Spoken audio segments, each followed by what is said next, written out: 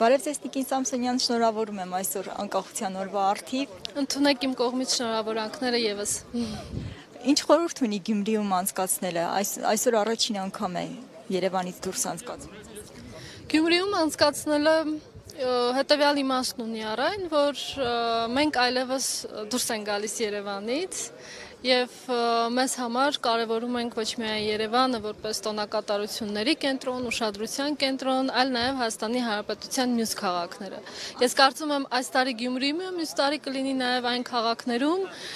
որտեղ մենք կուզենք աշխուժացնել կյանքը, մշակութային կյանքը եւ հաղորդել տոնական տրամադրություն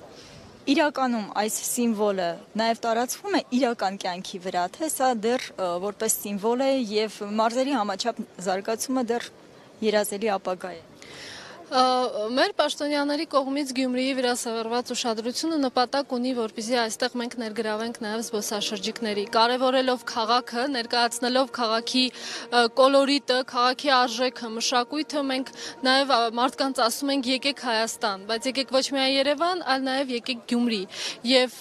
եթե մենք պիտի գանք այստեղ տոնակատարություններ անենք, գնանք եւ այստեղ կյանքը չփոխվի, նշանակում է իմաստ չունի։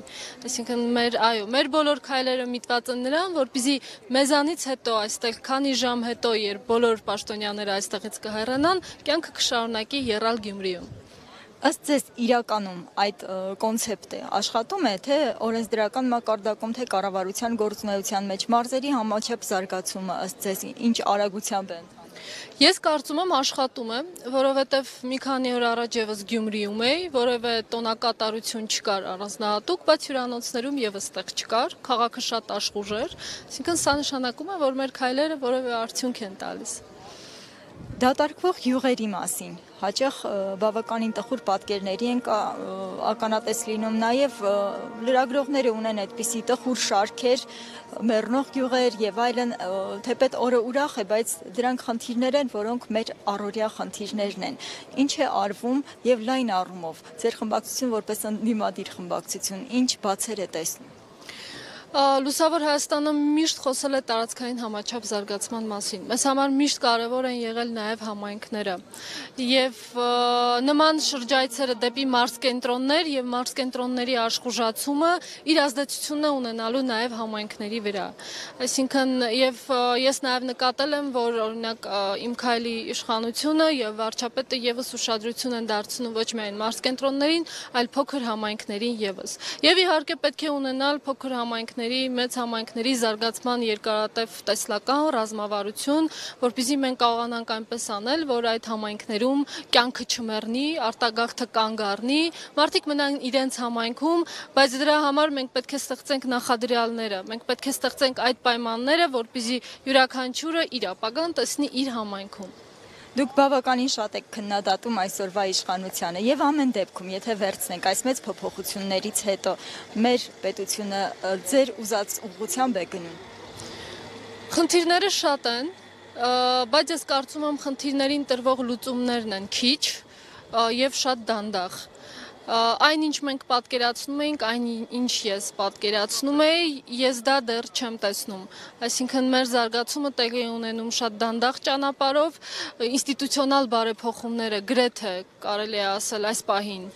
որևէ առաջընթաց իմ կարծիքով չեն գրանցում եւ սա մեզ համար խնդիր է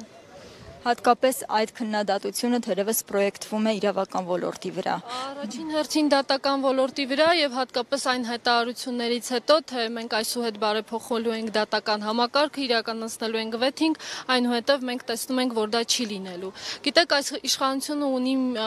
շատ մեծ խնդրեմ, քանի որ չկա զարգացման հենք, ռազմավարություն, տեսլական, այդ իսկ պատճառով լուծումները բարեփոխումների նկատմամբ լինում են շատ իրավիճ վիճակային եւ սա խանգարում է։ Այսինքն մենք այսօր ունենք մեկ տեսլական, որ այս բարեփոխումը պետք է անենք այսպես, բայց հաջորդ օրը մենք փոխում ենք մեր որոշումը եւ որոշում ենք, որ պիտի անենք այսպես։ Այս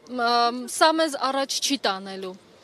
Դա պայմանավորված է նրանով, որ չկա զարգացման երկարաժամկետ տեսլական, չկա հստակ ռազմավարություն, այսինքն քայլերը հաշվարկված չեն, այդ քայլերը իրավիճակային են։ Այսօր մի բան ենք որոշում, վաղը մեկ այլ բան ենք որոշում եւ արդյունքում տժում է այն ոլորտը, որի նկատմամբ մենք կայացնում ենք որոշումներ։ Մի Փոքր ավելի իրական հարց, հենց իրավական ոլորտից կայացվեց դատարանի որոշում Ռոբերտ Քոչարյանին հերթական անգամ միջնորդությունը մերժելով կալանքից ազատ չարձակել։ Ըստ ձեզ սա որոշակի առաջընթացի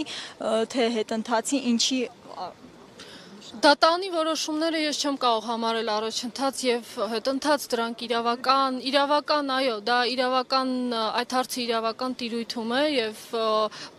որևէ քաղաքական գործիչ չի կարող մեկնաբանել դատարանի որոշումները, որովհետեւ մենք անդադ խոսում ենք իշխանության տարանջատման սկզբունքի, մենք անդադ խոսում ենք դատական համակարգի անկախացման մասին, բայց միևնույն ժամանակ մեզ թույլ ենք տալիս անելու հայտարարություններ եւ կատարել գործողություններ դատական համակարգի նկատմամբ։ Ես որպես քաղաքական գործիչ ը, Քոչարյանին Ք- Ք- Քոչարյանին քաղբանտարկյալ սարքում են նրանք եւ այդ թվում նաեւ Քոչարյանը, որովհետեւ Քոչարյանը նպատակ ունի պարզապես չնստելու եւ որpիզի չնստի, նա իրեն հայտարարում է քաղբանտարկյալ։ Բայց մենք գիտենք, որ այս հարցը իրավական տիրույթում է եւ դատական համակարգը կկատարի իր գործը, իր աշխատանքը։ շնորհակալություն։ Եվ ուզում եմ կոչ անել բոլոր քաղաքական գործիչներին որևէ կերպ հայտարարություններ եւ մեկնաբանություններ չանել դատական համակարգի վրա, որը կորակվի որպես ճնշում կամ ազդեցություն դատական համակարգի վրա։